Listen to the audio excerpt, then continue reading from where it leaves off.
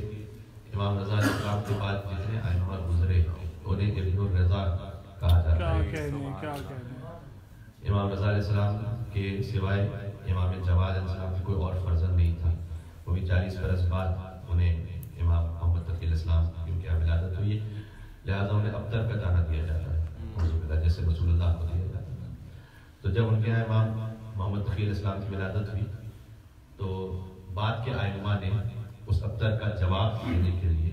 سبحان اللہ یہ مناسب سمجھا اور پسند فرمایا کہ کیونکہ تم نے امام رضا کو ابتر کہا تھا لہذا ان کے بعد جتنے امام ہیں سبحان وہ اللہ سب ابن الرضا ہیں۔ سبحان کیا کہنے سبحان اللہ رضا۔ سبحان اللہ سبحان اللہ لہذا امام محمد تقی علیہ السلام امام علی نقی علیہ السلام امام حسن عسکری علیہ السلام۔ ان کے لیے باقاعدہ تاریخ میں لکھا ہوا ہے کہ حتیٰ وہ خلفۂ بنی عباس کے دربار میں اپنے آپ کو ابن الرضا کہلوانا پسند کرتے ہیں۔ سبحان اللہ سبحان رضا کے اللہ فرزند ہیں۔ سبحان اللہ۔ کیا کہنے بابا اب اس تمہید کے بعد یہ بات ہے کیا کہنے؟ کہ علماء کرام نے اس تاریخ کے بعد جو لکھا ہے کہ جیسے امام نقی علیہ السلام امام نقی علیہ السلام امام عسکری علیہ السلام اپنے آپ کو ابن الرضا کہلواتے تھے اور پسند فرماتے تھے۔ تو بعید نہیں ہے کہ حضرت حجت بھی اس کیا بات کو چاہے اور پسند فرمائے کہ انہیں ابن الرضا کے لفظ حضور ابن الرضا علیہ السلام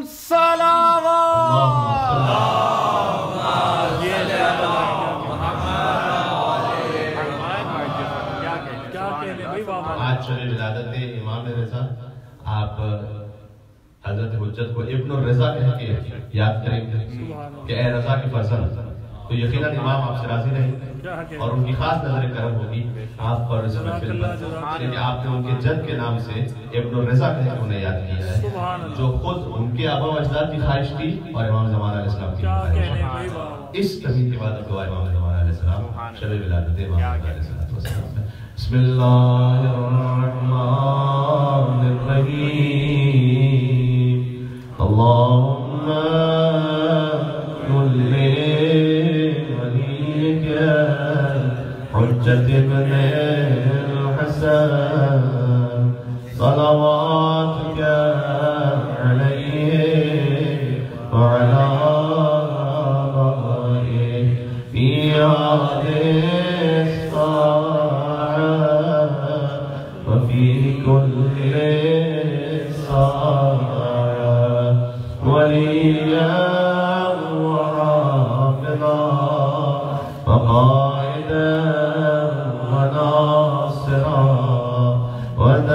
ودليلا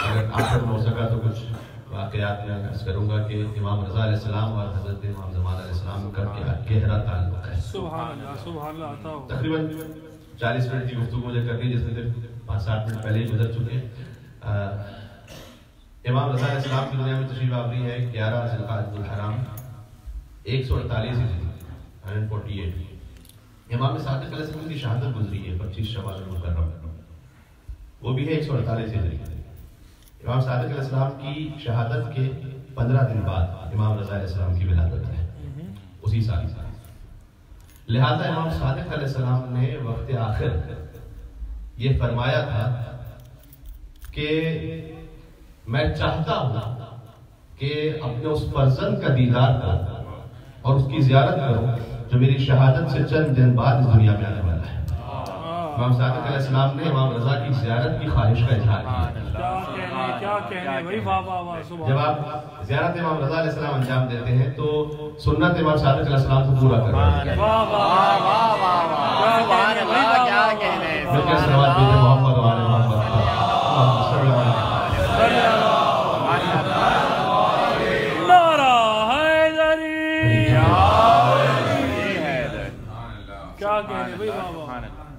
تو ایک نکتہ سب سے بنیادی ترین آج پہلی بات وہ ذہن میں رہے آپ کے کہ زیارت امام رضا علیہ السلام فقہ جعفری پر عمل کرنا سبحان اللہ بے شک بے شک۔ اور سنت امام صادق علیہ السلام۔ کیا کہنے واہ واہ واہ اور امام رضا علیہ السلام جب حضور کے سامنے ذکر آیا تھا امام رضا علیہ السلام کا۔ سرکار حتمی مرتبہ کے سامنے۔ تو تین مرتبہ فرمایا تھا صلی اللہ علیہ صلی اللہ علیہ صلی اللہ علیہ کیا کہنے واہ واہ واہ خدا کا درود و سلام اور رضا پر۔ خدا کا درود و سلام اور رضا پر خدا کا درود و سلام۔ اللہ!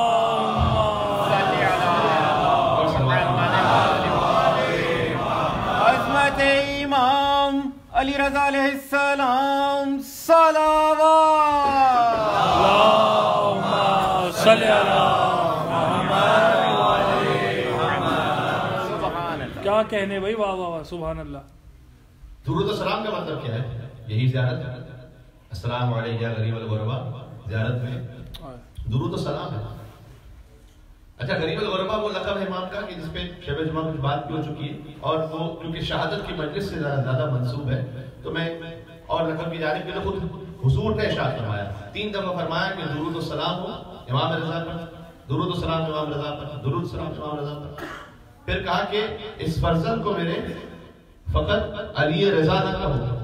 بلکہ عالم عالم محمد سبحان اللہ۔ کیا کہنے بھائی؟ واہ واہ واہ واہ۔ عالم محمد کا عالم۔ سبحان اللہ سبحان اللہ۔ اس لیے کہ امام صادق علیہ السلام امام باقر علیہ السلام ان کے زمانے میں موقع سب سے زیادہ تھا کہ تربیت دین تبلیغ دین فرمائی۔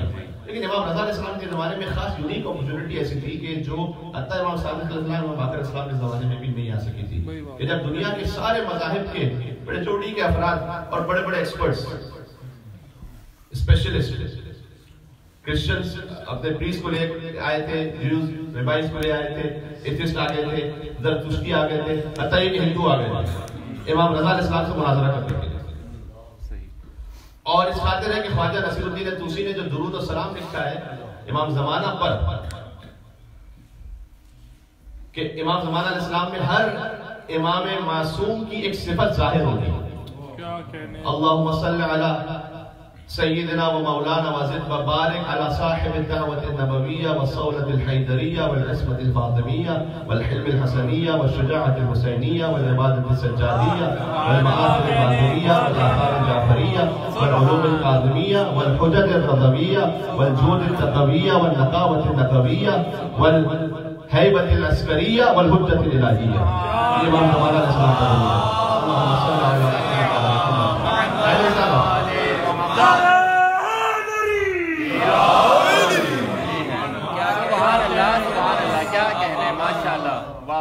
درود و سلام اس حجت پر کہ جو صاحب دعوت نبویہ ہیں بے شک جو صاحب سہولت حیدریہ ہیں۔ بھائی واہ واہ واہ۔ یعنی مولا علی علیہ السلام کی حیبت کے حامل ہیں۔ جو حامل عصمت فاطمیہ ہیں۔ جو علم حسنی کے آئینہ دار ہیں۔ جو شجاعت حسینی کے عکاس ہیں۔ جو عبادت سجادی جن سے ظاہر ہوگی جن سے علوم باقری اور علوم جعفری ظاہر ہوگی کہنے اور جب امام رضا علیہ السلام پر پہنچے والحجج الرضویہ کا سلام اس امام پر کہ جو رضا کی حجتوں کے بارے سے۔ اللہ اکبر۔ امام رضا کی حجتوں کو حجت کہتے ہیں دلیل کو۔ حجت یعنی دلیلیں۔ امام رضا علیہ السلام نے جو مامون کے دربار میں تو ایک واقعہ نہیں کئی واقعات ہیں۔ امام رضا علیہ السلام کی حجتوں پر یعنی ان کی جانب سے جو دلائل پیش کی اس پر کتابیں لکھی گئی ہیں۔ اللہ اکبر اللہ جب امام زمانہ تشریف لائیں گے تو حجتوں کو پھر سے زندہ فرمائیں۔ سبحان احیا اللہ فرمائیں۔ کیا کہنے سبحان یعنی کہنا چاہ رہے ہیں خواجہ نصیر الدین درود میں کہ جیسے امام رضا کے سامنے اس زمانے کا کوئی بھی اسپیشلسٹ ٹک نہیں سکا۔ تھا لیکن جب امام زمانہ علیہ السلام تشریف لائیں گے تو وہ اس کی رضا کے بارے سے تو کہہ چکا ہوں کہ وہ رضا ہے۔ تو جب وہ اپنی دلیلیں پیش کریں گے تو ویسے ہی ہے کہ جیسے وہ حجت رضویہ کے بارے سے تو امام رضا علیہ السلام اور خاص ایک خاص ایک انسیت امام رضا علیہ السلام سے ہے بے شک بہت مناسب تعداد میں موجود ہے یہاں پر ذرا غور فرمائیے گا مولا علی علیہ السلام کے حرم میں جب تشریف لے جاتے ہیں آپ پروردگار سب کو نصیب فرمائے انشاءاللہ بار بار میں جب کرتا ہے مل کے صلوات دیجیے گا اور محمد و آل محمد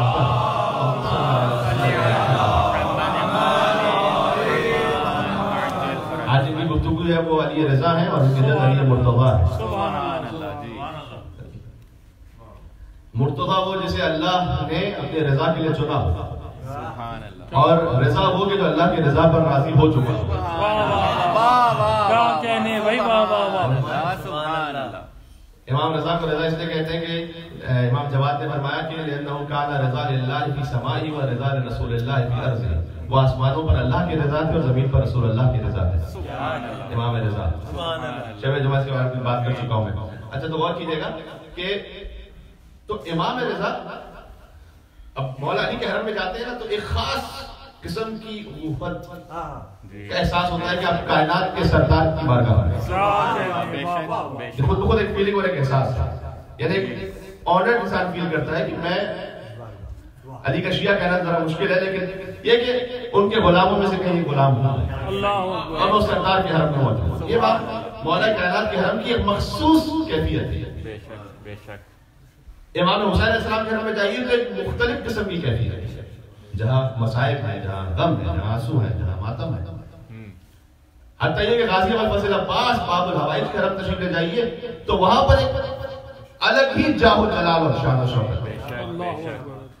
صدام ملعون اس نے امام حسین علیہ السلام کے حرم میں بھی فائرنگ کے نشان آج تک ہیں۔ اور صدام کے مظالم کو رکھنے کے لیے کہ اس نے کہاں کہاں کس طرح سے مظالم کیے وہاں پہ دیوار پہ نشانات موجود ہیں، آپ نے دیکھے، وہاں جا کے۔ تو اتنا نہیں تھا کہ امام حسین علیہ السلام کے حرم میں بھی فائرنگ سے کروا دی تھی۔ لیکن یہ ضرورت نہیں کر سکا تھا کہ ابو فضل عباس علیہ السلام کے حرم میں کر سکے۔ آپ دیکھیے گا حضرت عباس علیہ السلام کے حرم میں نہیں۔ دو مقامات ایسے تھے، کربلا معلّہ میں، جن سے خاص خوف کہا تھا صدام، ایک غازی ابو فضل عباس علیہ السلام کا حرم اور ایک بلد میں حضرت سید محمد ابن امام علی نقی علیہ السلام۔ کا حرم تو دونوں جگہ خاص الگ سے چلا حضرت سید محمد جہاں سے حاجات پوری ہوتی ہیں اولاد کے لیے ازدواج کے لیے بقیہ حاجات جب سید محمد کی جو قربانی کی جاتی ہے یہ ذہن میں رکھیے گا ہے؟ تو حضرت سید محمد امام علی نقی علیہ السلام کے فرزند ہیں۔ کہ حضرت امام رضا علیہ السلام کی؟ ظاہر ہے کہ ان کی نسل میں سے۔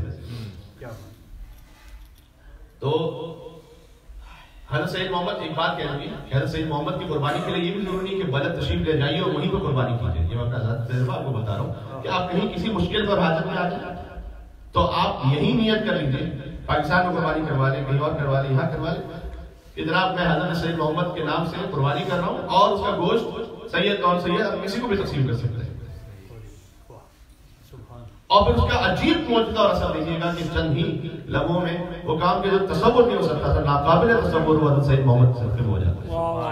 سبحان اللہ واہ واہ واہ سبحان اللہ سبحان ٹھیک اللہ۔ ہے؟ تو ایک حرم کی الگ خاص شان و شوکت۔ امام رضا علیہ السلام کے حرم وہ تمام ائمہ سے الگ مختلف کیفیت ہے۔ امام رعوف اس لیے کہا جاتا ہے۔ امام رعوف امام مہربان۔ ہر امام ہی امام رعوف ہے لیکن امام رضا کی رافت حسی ہے۔ ٹینجیبل ہے۔ علامہ طبعی نے فرمایا کہ آپ حس کرتے محسوس کرتے ہو خاص رحمت اور رحمت کو جیسی اب دربار امام رضا علیہ السلام اللہ اللہ ایک منٹ اور سلامات کیجیے گا امام رضا علیہ السلام پر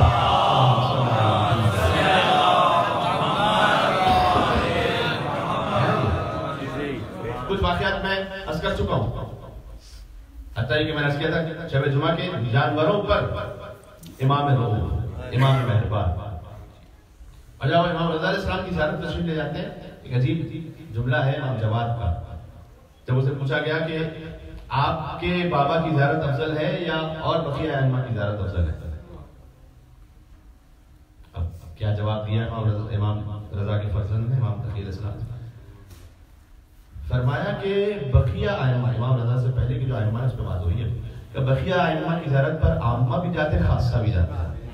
عامہ یعنی دیگر مسلمان۔ خاصہ یعنی خاص خاص سے شیعوں تو عامہ بھی جاتے ہیں خاصہ بھی جاتے۔ ہیں کہ لیکن میرے بابا کی زیارت پر صرف ہمارے شیعہ۔ آتے ہیں۔ واہ واہ واہ واہ جو جا چکے ہیں زیارت پر وہ ساتھ رہے گا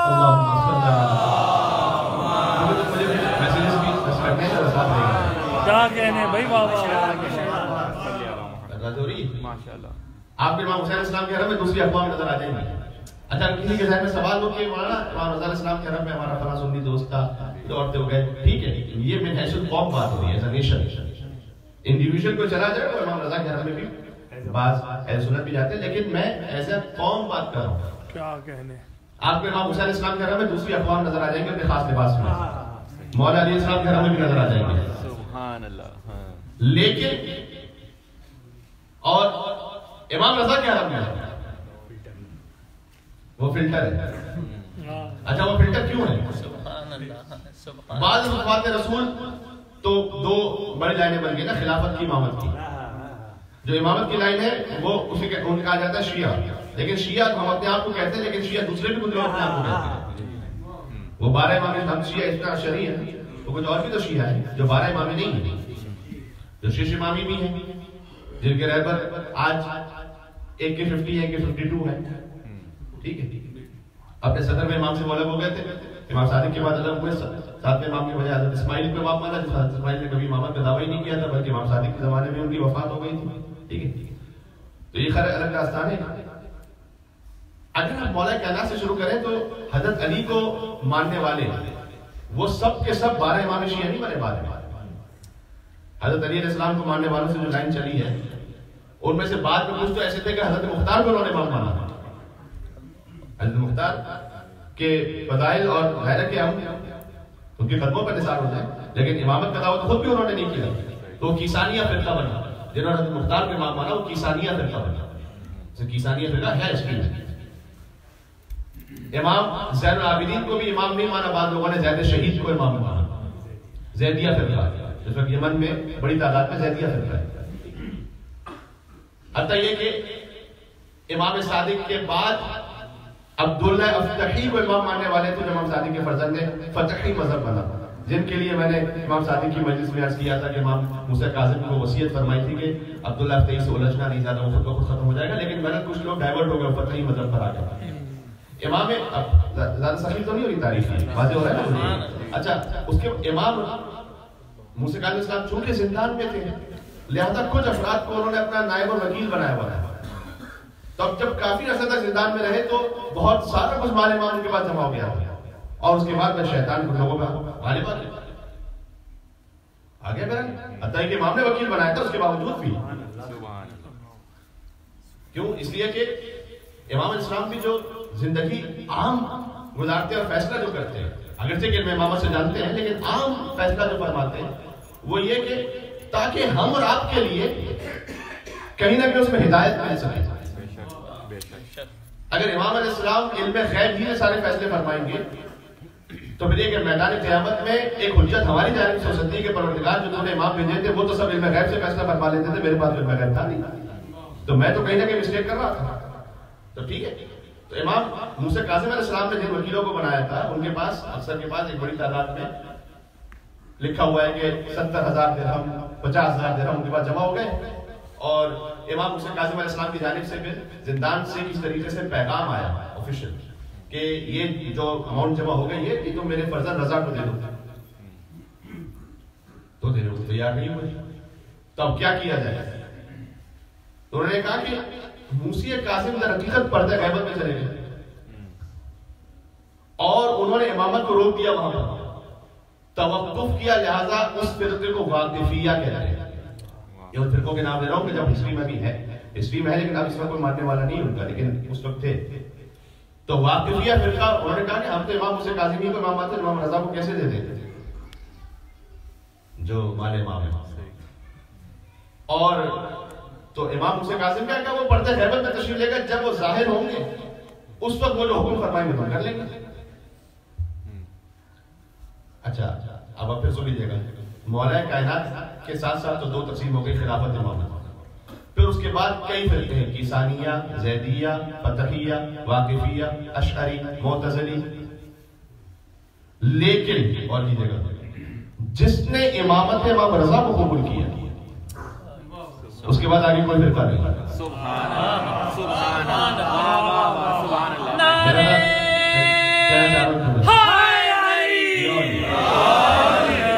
یعنی جس نے امام رضا کو مانا پھر اس نے امام تقی کو بھی مانا۔ امام رفیع علیہ السلام کو بھی مانا امام حسن عسکری کو بھی مانا اور حضرت حجت تک مانا درمیان میں کوئی فرقہ نہیں اب سمجھ میں آیا امام جواد نے کیوں کہا تھا کہ بقیہ ائمہ کی زیارت پر اپنے بھی جاتے ہیں غیر بھی جاتے ہیں تب میرے بابا کی زیارت پر صرف ہمارے شیعہ آیا کرتے ہیں واہ اس لیے کہ جو امام رضا کی زیارت پر آ رہا ہے وہ خود اظہار کر رہا ہے کہ میں بارہ امام شیعہ ہوں امام رضا اور جو امام رضا کے جشن میں بیٹھا ہے وہ بھی اس بات کا اظہار کر رہا ہے میں شیش امامی نہیں ہوں میں کسانی نہیں ہوں میں زیدی نہیں ہوں زیدی وہ سادات والے نہیں وہ زیدی فرقہ والے کے سلوات محمد والے محمد پر اللہم صلی اللہ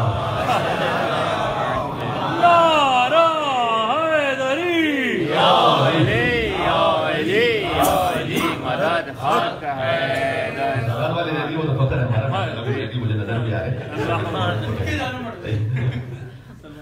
تو امام رضا جشن امام رضا میں شرکت۔ انہیں بحیثیت امام تسلیم کرتے ہوئے۔ یہ امپورٹنٹ ہے۔ اس بات کو ظاہر کرتی ہے کہ امام رضا کا جشن منانے والا پندرہ شعبان میں بھی جشن مناتا ہے۔ سبحان اللہ سبحان اللہ یہ ہے جشن امام رضا کی امپورٹنس یہ حیثیت۔ اچھا اب میں نے کیا کہ امام رضا علیہ السلام ظاہر ہے وہ تو بہرے جود و کرم ہے تو ان کا کرم تو جانوروں پر بھی ہوا غیروں پر بھی ہوا سب پر ہوا بولے بات۔ کیا کہنے؟ وہ چونکہ خدائے متعال کی صفات کے مطلب واہ واہ واہ روایت جشن کبیر میں ہم پڑھتے ہیں نا کہ اے وہ رب کے جو گناہگار کو اور اطاعت گزار دونوں کو رزق دیتا ہے امام رضا علیہ السلام کا جو رزق معرفت ہے اور امام اسلام امام رضا علیہ السلام کی جانب سے جو آتا ہے وہ ان کے ماننے والوں کے لیے بھی اور نہ ماننے والوں کے لیے۔ وہ ایک الگ معاملہ ہے۔ حتیٰ یہ کہ ہندو کے لیے بھی۔ ایک واقعہ میں نے ایک جگہ پڑھا تھا میں آپ تک پہنچا دیتا ہوں اگر سوشل میڈیا تھا آپ نے سن لیا تو ٹھیک ہے ورنہ ہو سکتا ہے بعد لوگوں نے نہ بتاؤ بتاؤ کہ میر پندرس کی ہمارے بہت بڑے عالم گزرے ہیں بڑے نورانی پاکیزہ ہستی اصفہان کے عالم ہیں۔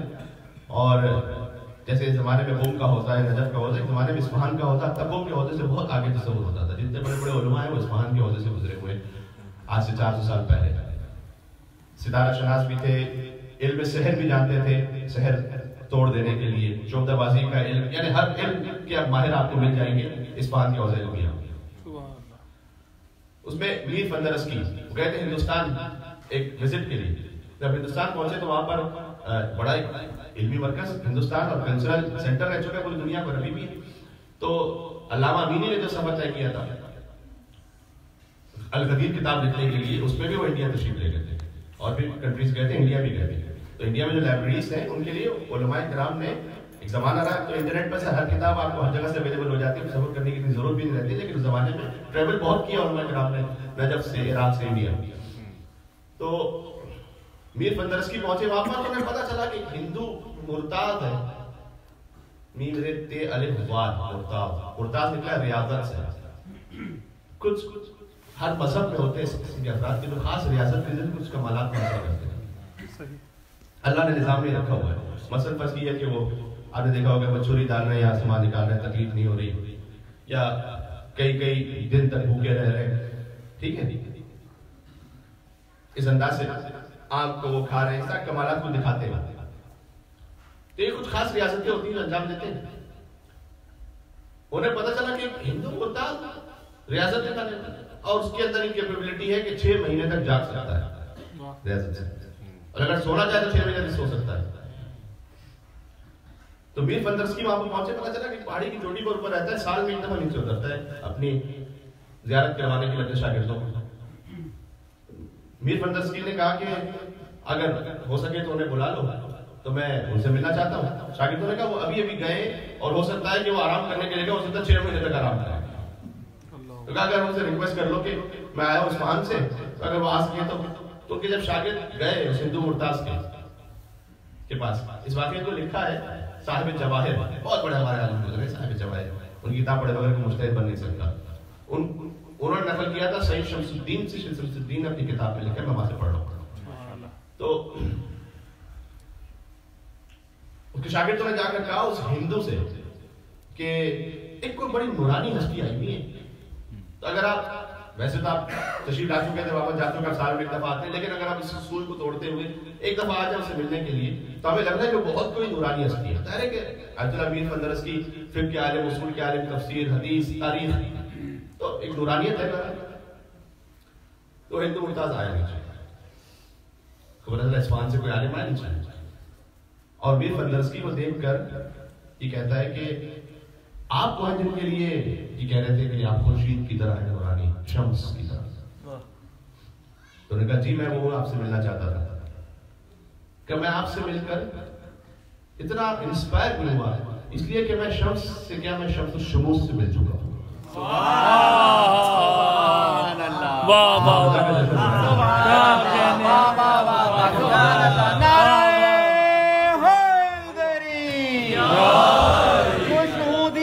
شمس الشموس علي رضا عليه السلام صلوات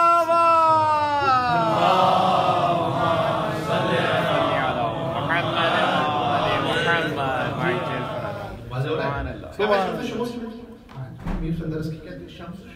یعنی یہ امام رضا علیہ السلام کی شہادت کے کئی صدیوں بعد کا واقعہ ہے۔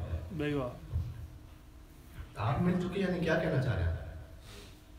تو اس نے کہا کہ جب مامون کی حکومت تھی اور اچھا ایک ہوتی تاریخ ہوتی سیرت۔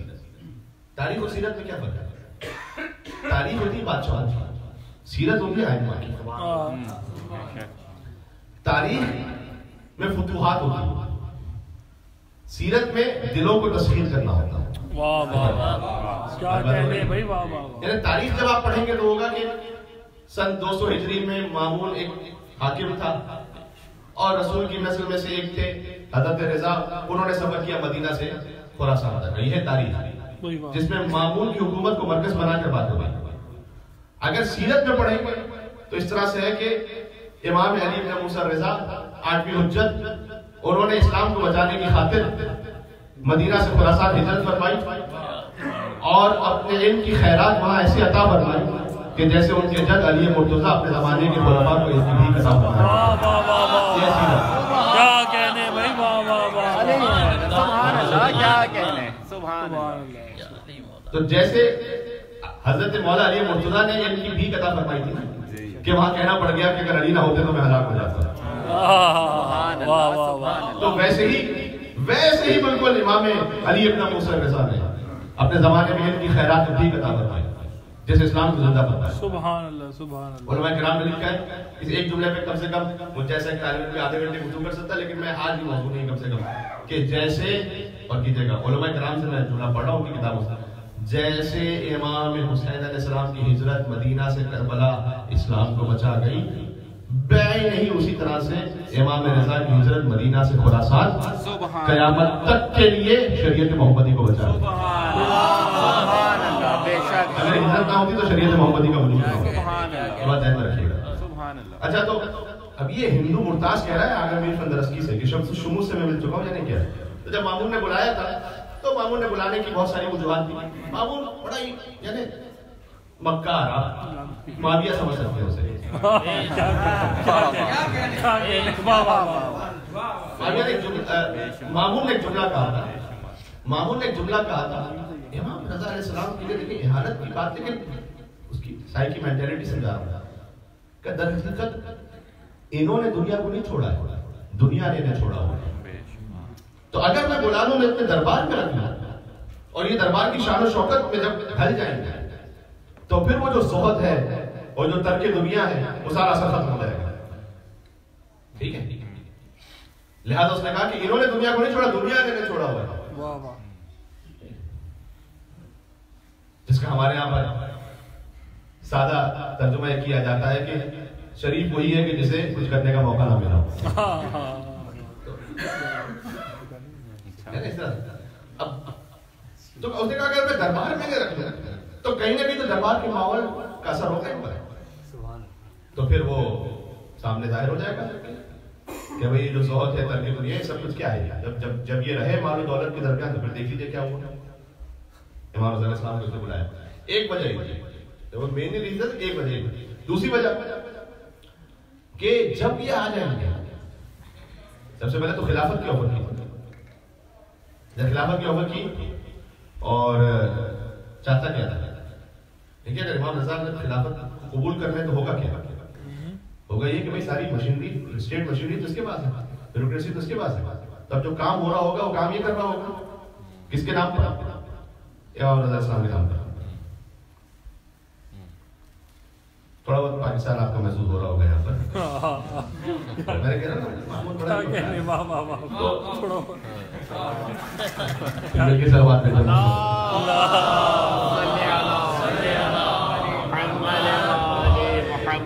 دیکھو شب ولادت ہے ادخال السرور فی قلوب المؤمنین بھی عبادت ہے مومنین کے دلوں میں خوشی گزار دیتا ہے کیا کہنے اگر ایسی بات ہو جائے کہ آپ کے چہرے مسکراؤ اچھی بات بھی ایک عبادت ہے سبحان اللہ اچھا کیا بہترین سبحان اللہ جیسے مولا علی علیہ السلام کی جب خلافت کا کہا گیا تھا دوسری خلافت کے بعد تو مولا علی کے سامنے کہا گیا تھا کہ آپ قرآن پر عمل کریں گے سنت رسول پر عمل کریں گے مولا علی سے کہا جا رہا ہے سیرت شیخین پر عمل کریں گے تو مولا علی علیہ السلام نے کہا کہ قرآن و سنت پر عمل کیا ہم تو اس کے احیاء کرنے والے ہیں اور جہاں تک تیسری شرط کی بات ہے تو اگر یہ قرآن و سنت کے مطابق ہے تو اسے الگ سے ذکر کرنے کی ضرورت نہیں ہے واہ واہ واہ غلط سے کیوں آ رہی ہے کیا کہنے بھائی واہ واہ واہ اور اگر قرآن و سنت کے خلاف ہے تو پھر علی ہر کام کر سکتا ہے لیکن وہ کام نہیں کر سکتا جو قرآن سنت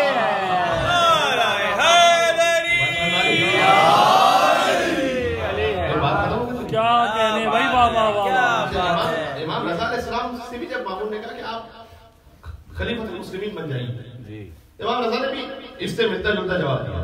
امام رضا علیہ السلام نے فرمایا کہ یہ خلافت اگر اللہ نے تجھے دی ہے تو پھر تو کسی اور کو آگے کیوں دے رہا ہے؟ جب اللہ نے تجھے اس کا حقدار بنایا۔ ہے واہ واہ واہ۔ پھر وہ تیرا حق ہے اور اگر اللہ نے تجھے خلافت نہیں دی تو پھر تیری حیثیت ہی کیا رہتی ہے کہ تو کسی اور کو خلیفہ بنا سکتا کیا کہنے بھائی واہ واہ یعنی یہ احسان کرنے کی ضرورت نہیں سبحان اللہ اللہ نے دی ہے تیرا اور اگر اللہ نے نہیں دی تو پھر تو دے ہی نہیں سکتا کسی اور کو کیا کہنے بھائی واہ واہ واہ سبحان اللہ تو بات نہیں بالکل ہی اچھا پھر اس کے بعد کہا کہ ولی عہد بن جائیے ولی عہد سے بھی امام نے انکار کیا یعنی سکسیسر بن جائیے امام نے کہا کہ میں کیسے تیرا ولی عہد بن جاؤں جبکہ تجھ سے پہلے میری شہادت ہو جانے والی جی۔ تو اس نے کہا کہ مجھ سے پہلے آپ کی شہادت ہو جانے والی ہے امام نے کہا کہ کیا میں اپنے قاتل کا نام بتا دوں تجھے کہتے نہیں نہیں، وہ رہنے دیجیے لیکن آپ نے اگر ولی عہد قبول نہ کی ٹھیک ہے مامون میں رہتے ہیں امین اور مامون کو بھائی تھے رشید تھے امین جو ہے وہ عربی النسل، حضرت زبیدہ کی اولاد میں سے۔ اور مامون جو ہے وہ اجمی کنیز سے ٹھیک ہے؟ تو امین اور مامون کے لیے ہارون رشید کو پتا تھا کہ آپس میں جنگ ہوگی۔ تو جتنے عرب علاقے تھے، عراق، یمن، شام وہ اس نے امین کے حوالے کر کے زندگی میں۔ جیسے کہتے ہیں زندگی میں راستہ تقسیم ہو جانا۔ اس طرح سے۔ اور جتنے نان عرب علاقے تھے، ایران، ترکمانستان، افغانستان آگے، وہ سب مامون کو دیے۔ ٹھیک ہے؟ مامون لیکن امین بہت ہی سست اور عیاش پرست مامون مکار ایک مرتبہ بہلول سے پوچھا تھا ہارون نے کہ معمول میں زیادہ مجھے ہوشیاری اور چالاکی نظر آتی ہے۔ ایسا کیوں؟ اور امین میں وہ سمجھ نظر نہیں آتی اچھا وہ رشتے کی بات ذہن میں رکھیے گا۔ وہاں عربی النصب یہاں پر عرب اور عجم۔ واہ تو بہلول نے اس طرح سے جواب دیا تھا تاریخ میں بہلول نے، اب وہ دیوانگی کے عالم میں کہتے تھے نا۔ تو سمجھانا بھی اس طرح سے کہ دیوانگی کے عالم ہی میں کوئی بات ہو جائے تو بہلول نے کہا کہ دیکھو، اگر تم ایک ہی غذا ہو اور اس میں ایک اور غذا ملا دو، تو اس کا ذائقہ ویسے ہی رہے گا۔ لیکن دو مختلف متنوع غذائیں ہوں، اور اگر انہیں ملا دو، تو اور زیادہ پھر ذائقہ ہو جائے گی۔ ٹھیک ہے۔ تو ہارون سمجھا نہیں کہ بہلول کیا کہنا چاہ رہا ہے۔ ٹھیک ہے۔ خیال آپ کے بات پہنچ گئی نا جی تو ہارون نے کہا کہ کیا مطلب ہے تمہارا تو بہلول نے پھر کہا کہ دیکھو اگر ایک مثلا اب جو بہلول نے مثال دی کہ اگر ایک ہی جانور ہو اور اس سے نسل آگے بڑھے تو مثلا یہ کہ اب گھوڑے کی نسل ہے یا گدھے کی نسل ہے لیکن اگر گھوڑا اور گدھا مل جائے تو پھر خرچہ ہوتا ہے تو جیسے بہلول نے کہا تو ہارون نے کہا کہ نہیں وہ پہلی مثال ہی ٹھیک ہے وہ اس سے۔ واہ واہ واہ۔ واہ سبحان اللہ۔ صحیح ہے۔ سن لیجیے گا تو اب جب یہ تقسیم ہوا۔ تو بات میں خیر یہ ہوا کہ ہارون خود ہی ان کا انجام تو آخر ایسے ہی ہوتا ہے۔ خود ہی اتنا لاوارث ہو گیا کہ کبھی امین کیا جاتا تھا کبھی معمول کیا نہ اس نے اسے رکھا نہ اس نے اسے رکھا۔ اور آخر میں بڑا ہی قسم و کرسی کے عالم میں ہارون خود مرا یعنی مطلب یہ کہ کوئی پوچھنے والا نہیں۔ اور پھر بعد میں آ، مامون نے تقریباً دو یا ڈھائی سال بعد امین کی حکومت پر حملہ کیا اسے قتل کر دیا اور پھر پورے اقتدار پر قابض ہو گیا۔ اچھا تو جو اپنے بھائی کو قتل کر دے وہ امام رضا علیہ السلام سے کہہ رہا ہے کہ بھائی آپ خلیفہ بن جائیں اور پھر کہہ رہا ہے کہ ولی ہے۔ کچھ نا سمجھو نے یہاں تک لکھا ہوا ہے۔ لیکن کہ مامون شیعہ تھا۔ اس لیے کہ اگر وہ شیعہ نہ ہوتا تو شیعوں کے امام کو ولی ہے، کیوں بنا؟ بنا یہ عجیب قسم کا شیعہ تھا۔ کہ جو جس کو امام مان رہا ہو تو اسی کو اپنا ولی ہے بنا۔ رہا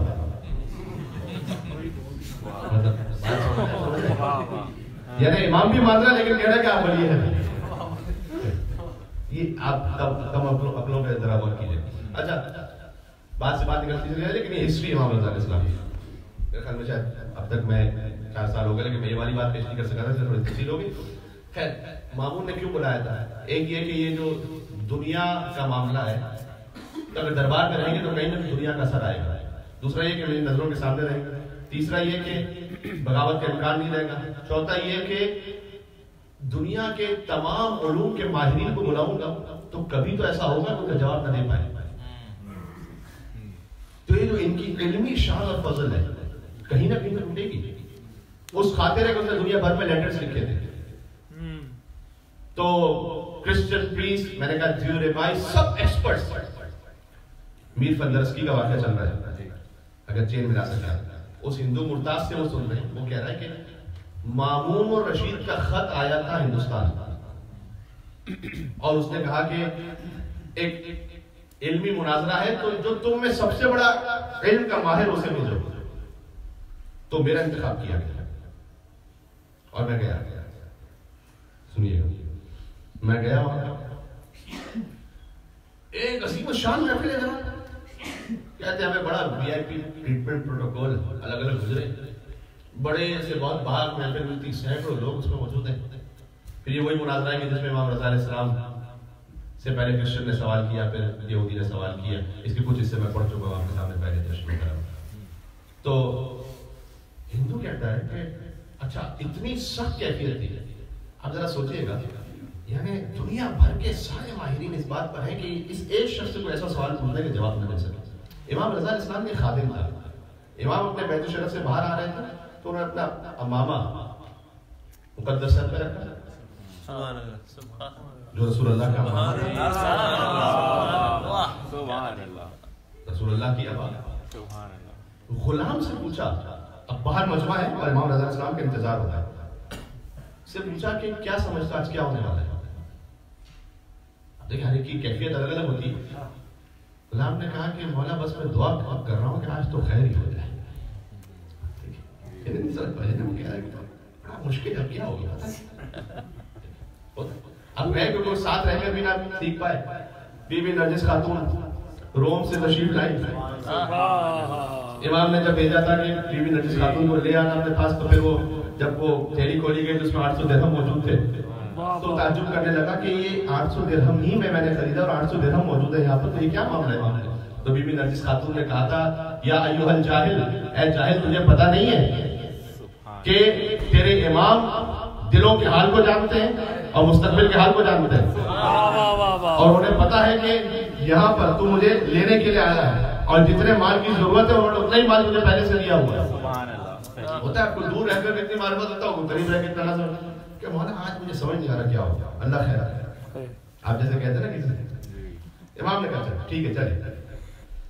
ہندو مرتاد یہ کہتا ہے کہ جیسے ہی وہ محفل میں پہنچے تو ایسا نور کے چہرے سے جاری ہو رہا تھا شمس و شموس کہہ رہا تھا اللہ اکبر اللہ اکبر اب اب یہ سننے کی بات ہے۔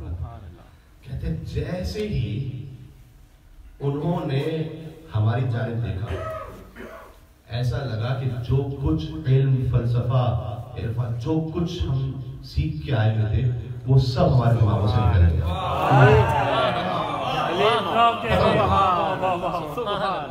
کہتے ہیں میں ایک دم انگوش بدلنا یہ کہ میرے ذہن میں تو کچھ بھی نہیں۔ انہوں نے نیچے دیکھا پھر پھر دوبارہ دیکھا ہماری طرف۔ تو وہ جو سارا علم تھا وہ دوبارہ ہمارے ذہن میں سبحان اللہ سبحان اللہ یہ اللہ جانے امام نے کیا کیا تھا۔ حقیقت یہ کن فیکون کا ایک چھوٹا سا مذہب ہے۔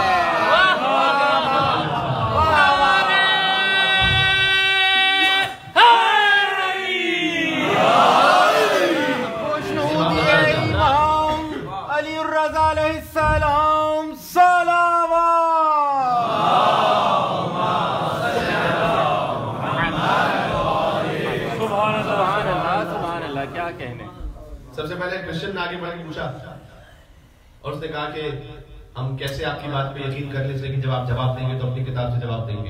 امام رضا علیہ السلام نے فرمایا کہ اگر میں اس نسخے سے جواب دوں انجیل کا جو تیرے گھر میں موجود ہے۔ پھر یہودی نے پوچھا پھر ایتھس نے پوچھا زرتشتی نے پوچھا آتش پرست۔ کہتے ہیں ان سب کے جوابات سے میں تو ایسا محو ہو گیا یہ ہندو کہہ رہا ہے۔ میں تو ایسا محو ہو گیا۔ یہ جب میری باری آئی وہاں نے کہا تم پوچھو۔ تو میں نے کہا کہ میں تو فقط ان کی عقیدت کے لیے یہاں پر حاضر ہوا تھا میں ان کا کوئی امتحان نہیں لینا چاہتا سبحان اللہ میں نے میری حیثیت اور اوقات نہیں ہے کہ میں پوچھ سکوں یہ کہہ کر میں خاموش ہو گیا واہ امامت کا کمال پتہ کیا ہے چاہے کوئی کسی بھی مذہب سے ہو اگر کہیں فطرت میں کچھ پاکیزگی یا طہارت ہے نا امامت کہنے واہ واہ واہ واہ سبحان اللہ بھائی واہ واہ واہ جزاک اللہ جزاک اللہ مذہب وغیرہ کی اگر کہیں کسی نے کوئی نیکی ایسی کی ہوئی ہے کوئی فطرت میں کچھ بھی طہارت سبحان امامت کھینچ لیتی ہے۔ اللہ بھی دہا اللہ سبحان اللہ کہتے ہیں کہ کیا بات محفل ختم ہوئی امام رضا علیہ السلام ظاہر ہے کہ وہ فتح فتح مبین حاصل ہو چکی تھی بعد میں ہر ایک ہوتا ہے مسافر کے لیے جاتے ہیں تو جب میں پہنچا امام کے پاس تو انہوں نے میرے سینے کی طرف اشارہ کیا یہ سننے والی بات ہے۔ کئی جو تو نے ہمارے علم اور مقام کا احترام رکھا ہے کہ تو نے جرأت نہیں کی کہ ہمارا امتحان لے سکے۔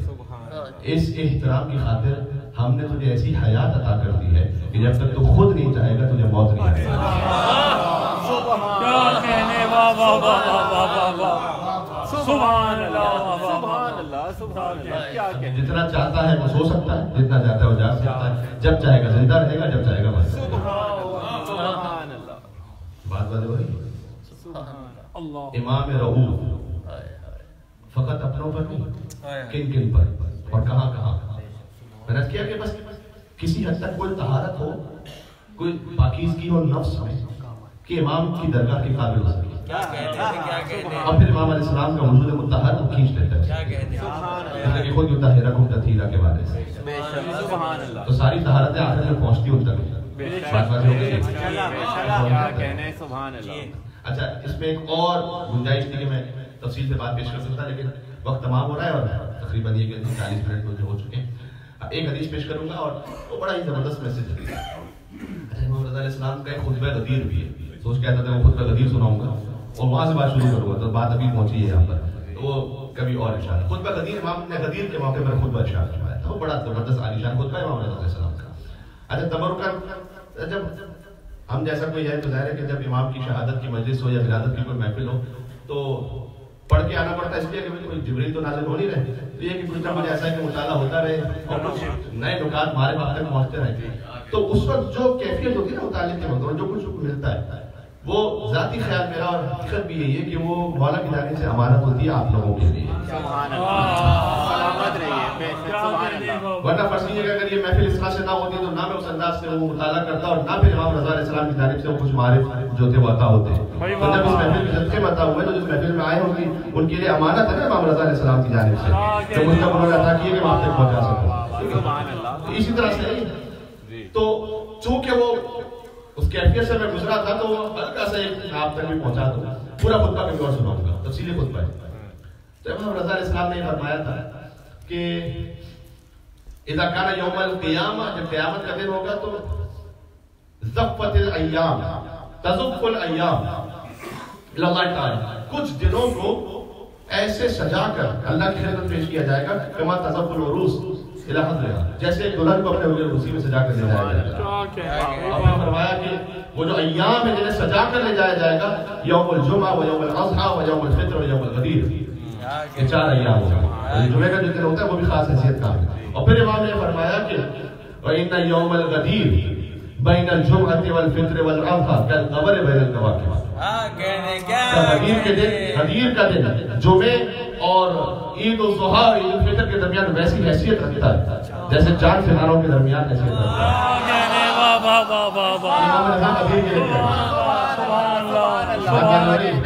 اچھا یہ درمیان کے میں نے بہت سارا خطبہ چھوڑ دیا، یہ پہلا جملہ تھا اور ایک آخری سن لیجیے تاکہ اس خطبے کی کم سے کم امانت پہنچ جائے اب تک۔ کا غدیر کا دن۔ جمعے فطر اور ضحیٰ کے درمیان ایسی حیثیت رکھتا ہے جیسے چاند ستاروں کے درمیان ہو، پھر فرمایا کہ غدیر کے دن کے کیا کیا نام ہے فرمایا مسکرانے کا دن ہے دین کی تکمیل کا دن ہے ایک دوسرے کو معاف کر دینے کا دن ہے ایک دوسرے کو اطعام کا دن ہے تحفہ دینے کا دن ہے۔ فرمایا کہ جو غدیر کے دن کسی مومن بھائی کو مسکرا کر دیکھ لے تو اللہ قیامت میں اس کی ہزار حاجتوں کو پورا کر دے گا۔ غدیر کے امام رضا فرما رہے ہیں کہ جو غدیر کے دن روزہ رکھ لے تو اللہ سبحانہ و تعالیٰ اس ایک روزے کے عوض اگر افطار کروائے تو الف الف یعنی ہزار ہزار یعنی ایک ملین ایک لاکھ دس لاکھ۔ روزے داروں کو افطار کرنے کا ثواب اللہ سبحانہ و تعالیٰ عطا فرمائے گا اس شخص کو بھی جس نے غدیر کے دن ایک مومن کو افطار کروایا ہوا۔ فرماتے گئے فرماتے گئے کہ غدیر کا دن ایسا ہے، ایسا ایسا امام رضا علیہ نے قربان ہوتا حضرت کیا، اور آپ ماشاءاللہ موالیان حضر کرام تشریف فرمائے ایک عجیبی جملے میں کیفیت ہے، جب پیش کرنے لگا ہوں۔ خطبے کا اختتام اس طرح سے کیا کہ ان بیعت امیر المومنین فی یوم غدیر خم. امام رضا کا جملہ. ان بیعت امیر المومنین بڑا آسان عربی سمجھ پائیں فی یوم غدیر خم. کا مسئلہ سجود الملائکت لآدم. سبحان اللہ.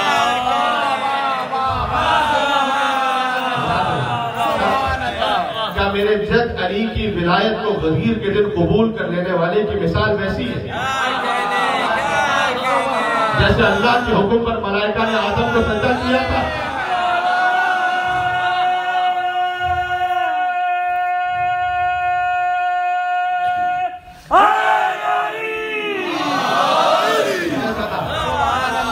اچھا جس نے سجدہ نہیں کیا تھا وہ کون بنا یہ مفہوم سے خود سمجھ میں آ رہا تھا لیکن امام رضا نے فرمایا کہ ان بیعت امیر المومنین فی یوم غدیر خم مسئلہ سجود الملائکۃ لآدم و ان من ابا بیعت ابا نے انکار کر دیا۔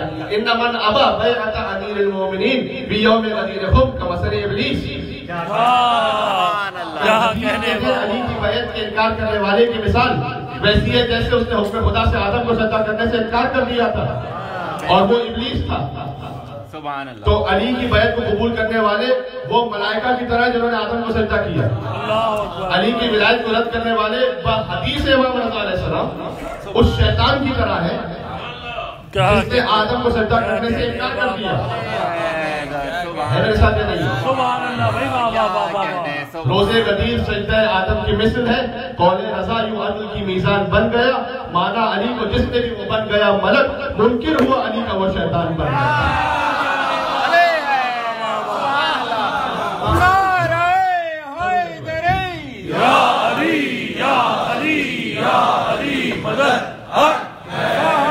علی مولا علی علی علیہ السلام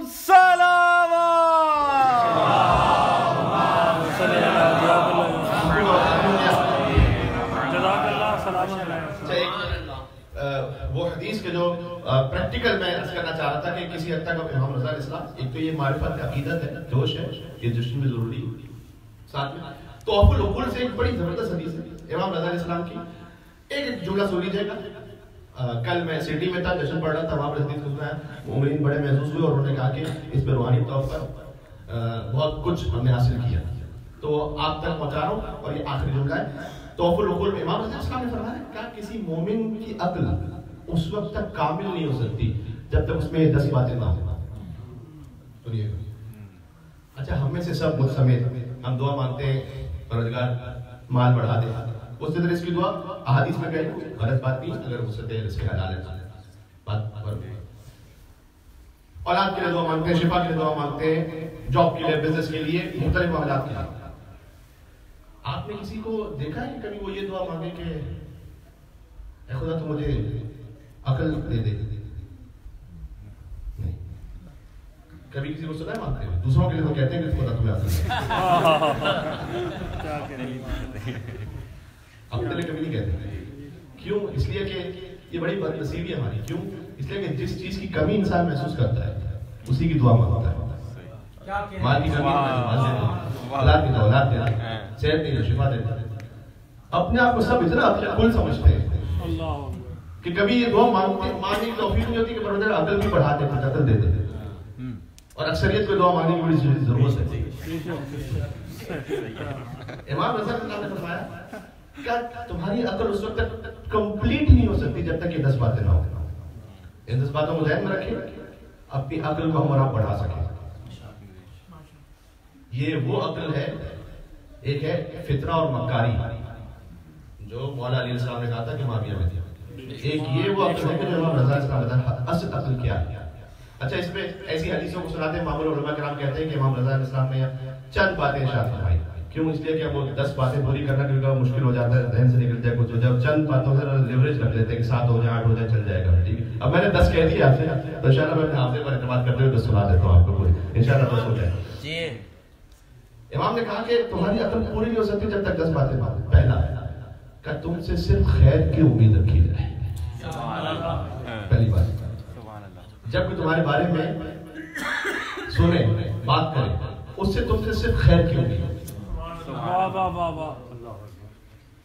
پہلی بات پر کتنے لوگ مجھ سمیت فیل ہو جائیں گے پتہ نہیں۔ اگر خیر کے علاوہ ہم سے کسی اور کو کچھ شر کی بھی امید ہے کہ گڑبڑ بھی کر سکتے ہیں بھائی بچ کے رہنا اس کا مطلب کہ عقل پوری نہیں ہوتی۔ ٹھیک ہے؟ یعنی اس شخص کی عقل پوری۔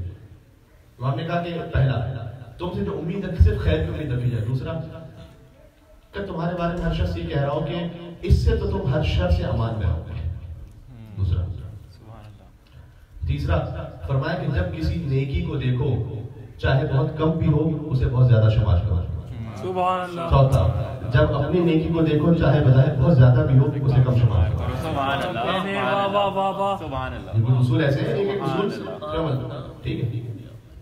پانچواں فرمایا کہ اگر تم سے کوئی حاجت طلب کرے امام کا جملہ ہے کچھ طلب کرے تو اپنے دل کو تنگ نہ کرو۔ اگر وسعت میں ہے تو دل چھوٹا نہ کرو۔ یہ نشانی ہے عقل پوری ہونی۔ کی سبحان اللہ۔ سبحان اللہ۔ چٹا فرمایا زندگی کے کسی بھی مرحلے پر علم حاصل کرنے سے شرمانے سبحان اللہ۔ یہ علامت ہے عقل پوری ہونے کی کیا کہنے واہ واہ واہ واہ واہ سبحان اللہ۔ اپنے آپ کو پہلے عقل کو سمجھ رہا ہوں کہاں کوئی بھائی واہ واہ واہ واہ واہ ضرورت ہی نہیں۔ ہم نے سب الف لام میم سے ورناس تک سب کو سیکھا ہوا ہے۔ ہمیں کیا ضرورت ہے کسی سے بات کرنے کی چھٹا فرمایا، زندگی کسی مرحلے پر علم حاصل کرنے میں شرم نہ کرو۔ اب جو ہے تین سیکوینس میں، ساتواں، آٹھواں نمبر بہت غور سنیے گا۔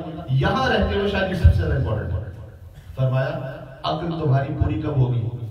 جب اگر بے دینی کے راستے میں دولت مل رہی ہو، تو اللہ کے راستے میں ملنے والی غربت اس غربت کو دولت پر دیتی ہے کیا کہنے؟ واہ واہ واہ واہ واہ واہ غلط کام ہے جاب ہے ایسی جس میں کچھ ایسا کرنا ہوگا جو شرم جائز نہیں۔ ہے کبھی کچھ نماز قضا ہو جاتی ہے کبھی نہ محرم سے ہاتھ ملانا ہے کبھی غلط نگاہ ہے کبھی نوز باللہ شراب بھی کچھ بھی ہے۔ کا دیکھو عقل تمہاری اس وقت پوری ہوگی جب بے دینی کے راستے میں ملنے والی دولت پر اللہ کے راستے پر چلتے ہوئے غربت کو ترجیح دو۔ سبحان اللہ سبحان اللہ جزاک اللہ۔ ساتھ ہو گئے آٹھ بار بالکل اس طرح سے۔ فرمایا عقل اس وقت پوری ہوگی کہ جب بے دینی کے راستے میں ملنے والی عزت پر اللہ کے راستے میں ملنے والی انسلٹ بھی ہوگی اس کو ترجیح دے گا واہ واہ واہ واہ واہ۔ سبحان اللہ ایک جملے میں کہ لوگ کیا کہیں گے سبحان اللہ ہائے ہائے۔ لوگ کیا کہیں گے کا جواب امام رضا نے دیا ہے۔ کہ تمہاری عقل اس وقت پوری ہے کہ بے دینی کے راستے پر چلتے ہوئے جو عزت مل رہی ہے اسے اللہ کے راستے میں چلنے سے عزت پر اس پہ ترجیح دیتے ہیں۔ سبحان اللہ سبحان اللہ اللہ اللہ؟ ٹھیک ہے کچھ بھی کہتے رہے اللہ کے راستے میں سبحان اللہ۔ یہ نشانی ہے جو ایسا کر رہا ہے عقل پوری ہونے والی کی نشانی ہے۔ سبحان اس کی عقل کامل ہے۔ وہ یہ بیوقوف نہیں لوگ عام طور پر اسے کہتے ہیں۔ یہ بڑا مند ہے وہ بیوقوف ہے نہ نہ امام رضا کہہ رہے ہیں اس کی عقل پوری ہے۔ سبحان اللہ سبحان بے اللہ سبحان اللہ نوا فرمایا بے دینی کے راستے پر چلنے والی شہرت پر ترتیب و اللہ کے راستے پر چلتے ہوئے گمنامی۔ کیا کہنے کیا کہنے سبحان اللہ جی۔ سبحان اللہ سبحان اللہ مطلب یہ کہ اس کی کتنی مثالیں بتا سکتی کوئی غلط کام ہوگا ٹھیک ہے بڑی واہ بھی ہوتی ہے بڑا اچھا بھی لگتا ہے۔ ریاکاری کا سب ٹھیک۔ اللہ کے راستے میں چلتے ہوئے جو گمنامی ہے اسے ترجیح اللہ اچھا جب دسویں چیز پہ امام رضا پہنچے خود امام نے فرمایا کہ یہ دسویں شے تو کیا ہی شے ہے؟ امام رضا نے فرمایا۔ اچھا پھر سے ترتیب سن لیجیے گا۔ فرمایا کہ جس میں یہ دس باتیں ہوں تب اس کی عقل پوری ہوگی۔ پہلا اس سے صرف خیر کی امید رکھی جائے، دوسرا، شر کی امید نہ رکھی جائے، تیسرا، دوسرے کی نیکی کو کم ہو تو زیادہ سمجھے، اپنا، چوتھا، اپنی نیکی کو زیادہ ہو تب بھی کم سمجھے پانچواں علم کو حاصل کرنے میں کبھی شر محسوس نہ کرے، چھٹا، جب اسے کوئی حاجت طلب کی جائے تو اپنے دل کو چھوٹا نہ کرے، ساتواں، اللہ کے راستے پر غربت کو ترجیح دے، بے دینی کے راستے پر۔ دولت پر اللہ کے راستے کو ترجیح دے۔ اس گمنامی پر کہ جو بے دینی کے راستے میں شہرت میں مل رہی ہے، اللہ کے راستے کو ترجیح دے اس چاہے بظاہر سنت پر کہ جو بے دینی کے راستے میں عزت حاصل ہو رہی اس پر یہ نو چیزیں ہو گئی پھر فرمایا کہ دسواں کیا ہی شے ہے سبحان اللہ اس آخری جملے پر اب غور کیجیے گا بہت آپ نے کہا دسواں یہ ہے عقل اس وقت پوری ہوگی کہ جب کسی کو بھی دیکھو تو اپنے دل میں کہو کہ یہ یقیناً تقوی اور پرہیزگاری میں مجھ سے بہتر ہے کیا کہنے واہ واہ سبحان اللہ.